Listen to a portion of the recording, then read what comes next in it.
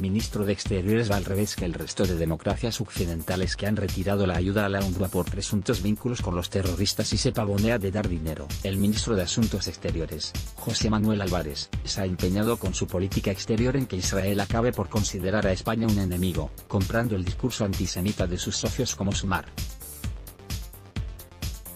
Así, Álvarez va al contrario del resto de democracias occidentales, y mientras estas anuncian que retiran los fondos a la UNRWA por presunta colaboración con los terroristas de Hamas, el ministro de Pedro Sánchez les dará más dinero.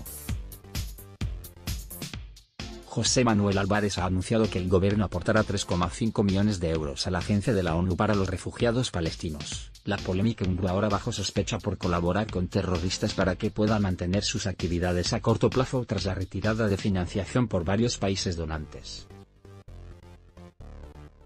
Álvarez le ha dado igual que países como Reino Unido, Alemania, Italia, Países Bajos, Japón, Finlandia, Estados Unidos,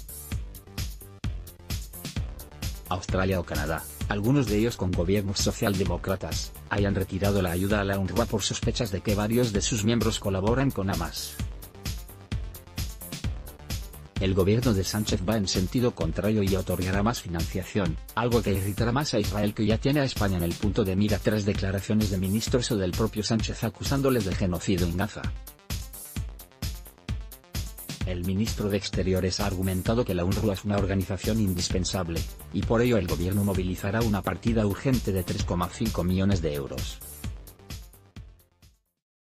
Álvarez ha utilizado como excusa la situación desesperada que hay en Gaza, y ha alertado del riesgo de que en pocas semanas se tengan que paralizar las actividades de UNRWA ante la falta de fondos.